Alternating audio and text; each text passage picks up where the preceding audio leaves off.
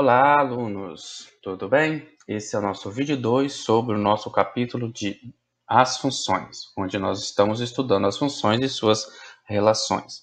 Neste vídeo nós vamos entender o que é um produto cartesiano, compreender como é como as relações entre os conjuntos, dois conjuntos se dão e também chegar ao conceito e visualizar o plano cartesiano. Então, como dito primeiramente, o produto cartesiano entre dois conjuntos é uma relação estabelecida, um cruzamento que eu faço entre todas as ligações possíveis entre os elementos A e os elementos do conjunto B. Digamos que aqui, como diz, está explícito no enunciado, você tem o conjunto A e B, ambos não vazios, e você tem essa definição, A cartesiano B, então esse x que parece um x, que é um ou um sinal de mais deitado, ele representa o produto cartesiano desses dois conjuntos. Ou seja, são as relações, os pares ordenados obtidos na relação entre x e y, onde o primeiro par, o primeiro elemento x sempre será referente ao primeiro conjunto e o segundo elemento y sempre será referente ao segundo conjunto, e ambos pertencentes tanto a A quanto a B. Aqui nós temos um exemplo, né? nós temos dois conjuntos, o conjunto A, que é 1 e 2, e o conjunto B, que é 2, 3 e 4.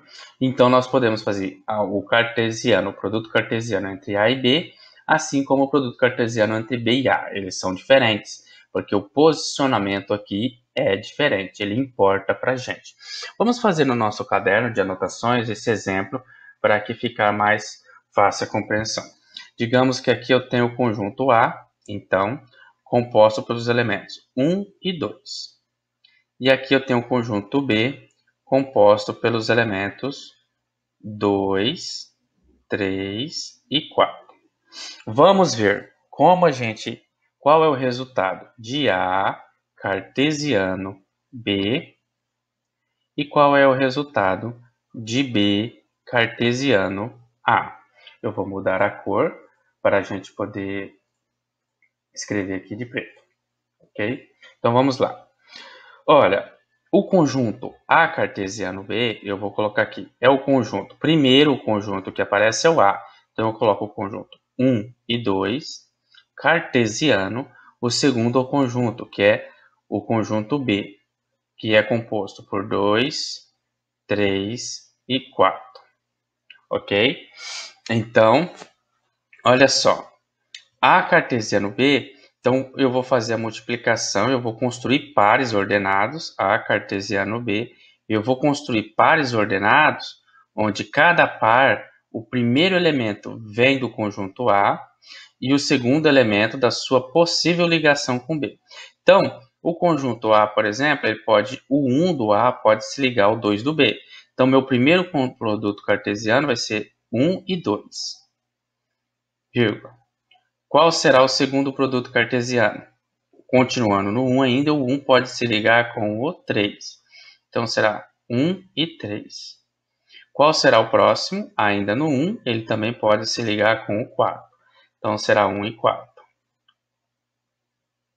Continuando. Após a gente fazer todas as possíveis ligações do número 1, que pertence ao primeiro conjunto A, a gente faz as ligações do segundo, que pertence ao A também. Então, o 2 pode se ligar com 2. O 2 pode se ligar com 3. E por último, o 2 pode se ligar com 4. Então, cartesiano é todas as ligações possíveis entre os dois conjuntos. Ok? E agora, temos diferença para B cartesiano A? Ó, B cartesiano A. Então, vai se pegar quem é o primeiro conjunto? O primeiro conjunto agora é o B. Então, tem que pegar os elementos de B. 2, 3 e 4. Cartesiano com o segundo conjunto. Quem é o segundo conjunto? O segundo conjunto é o A, e ele só tem os elementos 1 e 2.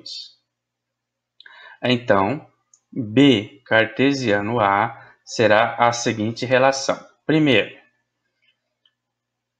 as ligações possíveis do primeiro elemento do primeiro conjunto, que nesse caso o elemento pertence a B.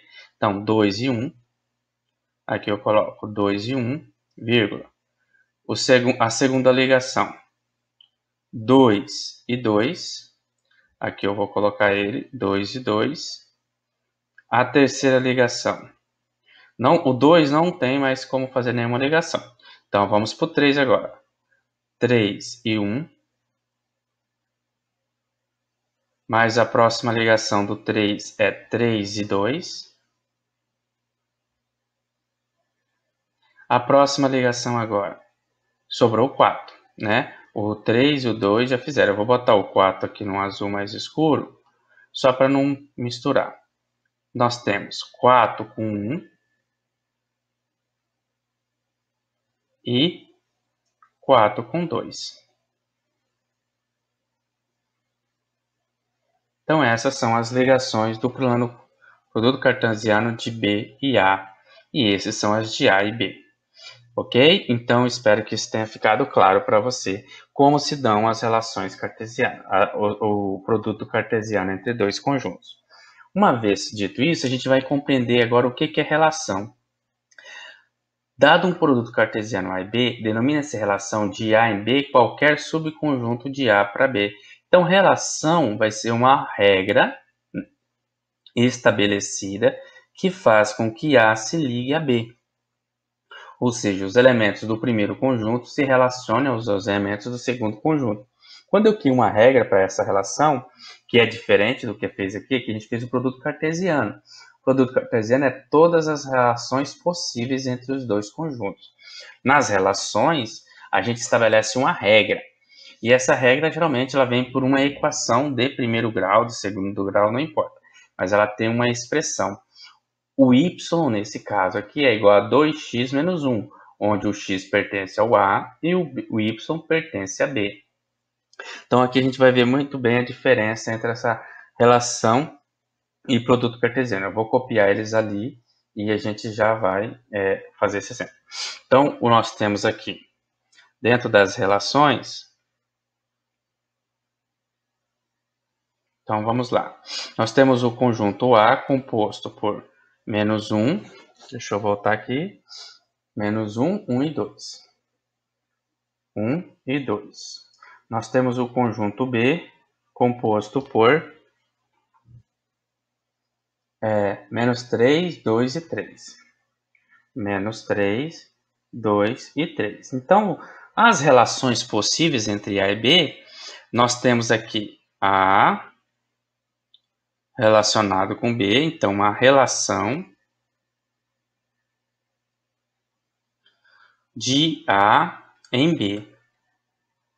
Outra maneira de, que você pode encontrar isso é assim: A, uma setinha, para B e aqui um R em cima, quer dizer, uma relação que faz os elementos de A se ligar a B. Os elementos de A serão chamados de X e os elementos de B sempre serão chamados de Y. Por isso que a gente diz que X pertence a A e Y pertence a B. É convenção que a gente faz e a relação será de X em Y. Essa regra tem uma relação estabelecida. Ela diz que o Y ou seja, o elemento do conjunto B, deixa eu desenhar aqui. Aqui você tem o conjunto A, aqui você tem o conjunto B. Existe uma relação entre os dois.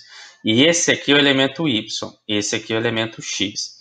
O Y, o resultado de Y, a ligação, quem receberá a seta, será o resultado de uma operação matemática descrita por 2x menos 1. Ou seja, eu não quero qualquer ligação entre A e B. Eu não quero as possibilidades de ligação de cada um dos elementos, porque as possibilidades são inúmeras. Eu quero as ligações que obedeçam essa lei. Então aí eu tenho uma relação. Então vamos lá. Para eu fazer isso, eu vou vir aqui em cima, eu vou fazer o que a gente chama de uma tabelinha. Aqui eu vou colocar os valores de x, aqui os valores de y, Aqui é y, aqui é x. Aqui é a relação que determina que y é igual a 2x menos 1. Então, quem são os possíveis elementos de X? O conjunto X pertence a A. Então, os elementos que ele tem de possibilidade são os elementos de A. Quem são os elementos de A nesse caso? Menos 1, 1 e 2. Então, aqui eu tenho menos 1, aqui eu vou ter o 1 e aqui eu vou ter o 2. Então, para o menos 1, eu vou fazer a conta. y é igual 2 vezes x menos 1. Quando não tem o ponto, sempre está ali, né? Então, y será igual a 2 vezes o x vale menos 1. Então, do, menos 1 depois. Então, quanto que dá isso? Trazendo para cá, 2 vezes menos 1 é menos 2. Menos 2 menos 1, menos 1. Então, menos 1, 2 menos 1, o resultado é menos 3. Então, aqui formou um par menos 1 e menos 3. Deixa eu fazer um tracinho aqui.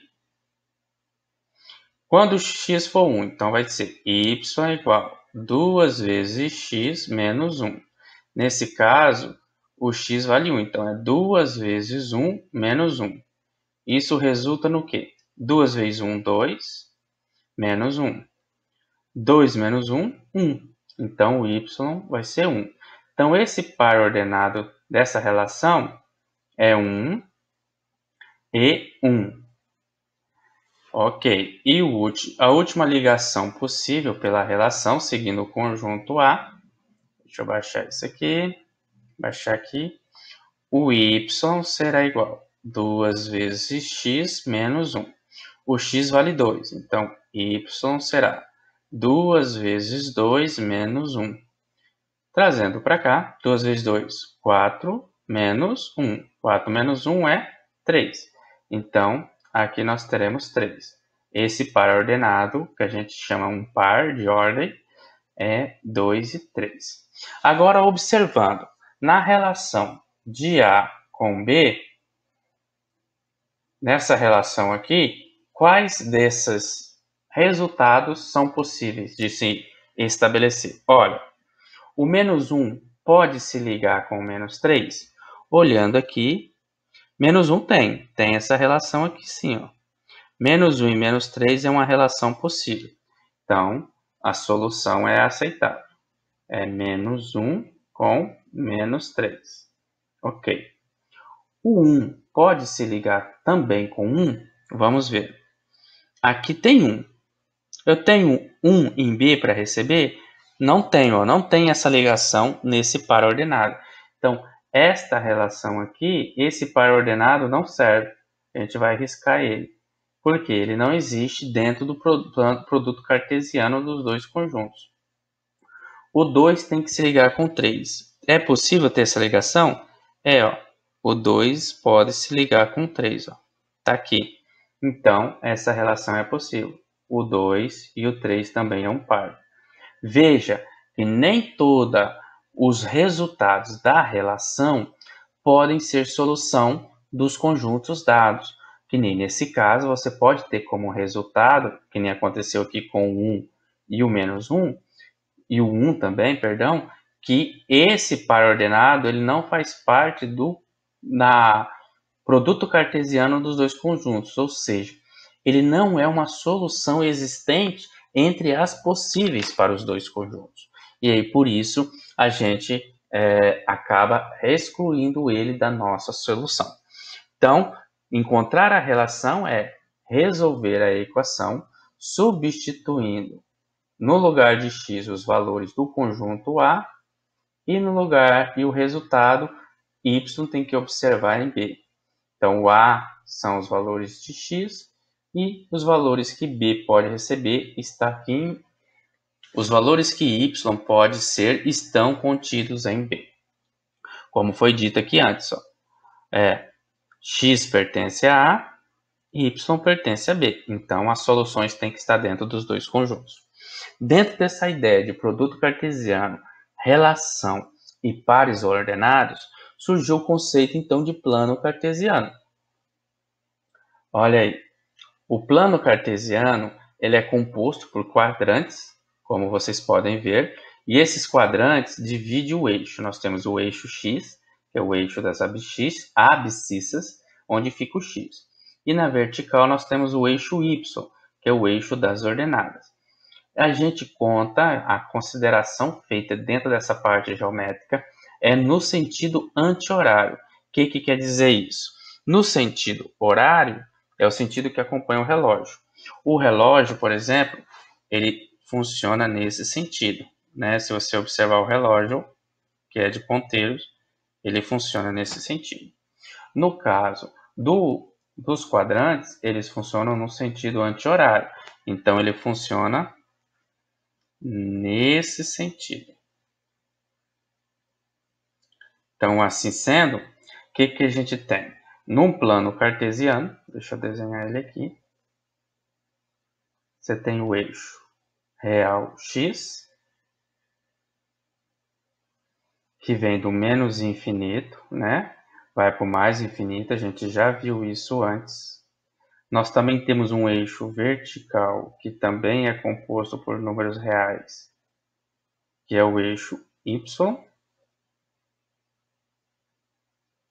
que vai para o mais infinito, e, e aqui vai para o menos infinito. O ponto de encontro dos dois é a origem, que a gente chama de zero. Aqui a gente tem, então, no sentido anti-horário, nesse sentido aqui, ó, aqui a gente começa, que é o primeiro quadrante. Não importa, no relógio também seria o primeiro quadrante no sentido horário. Mas no relógio, o segundo quadrante vem para cá. Na utilização do plano cartesiano e na trigonometria é o contrário. O segundo quadrante é aqui. Ó segundo quadrante. Então, aqui seria o terceiro quadrante.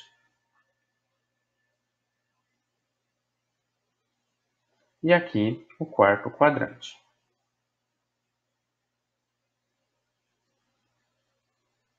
Pronto.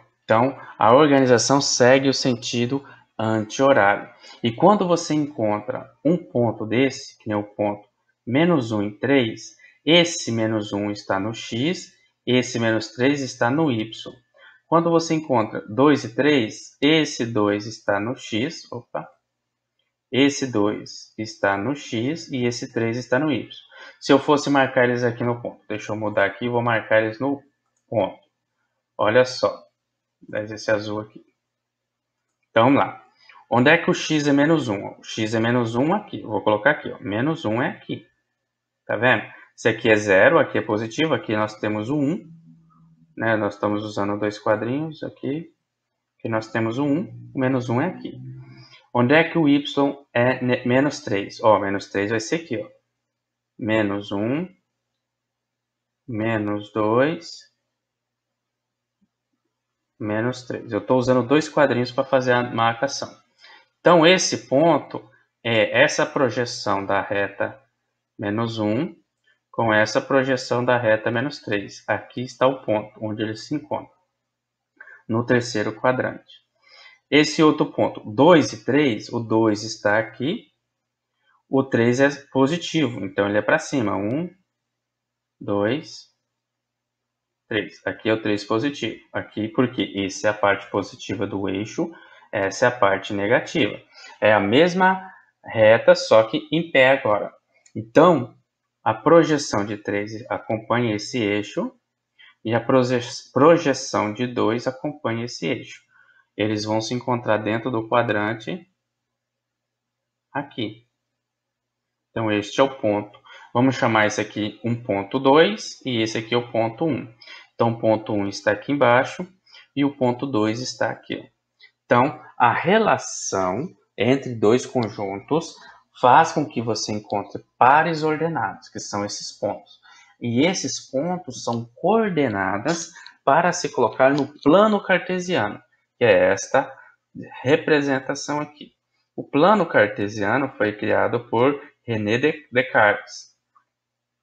E por isso que leva esse nome. Descartes é cartésio.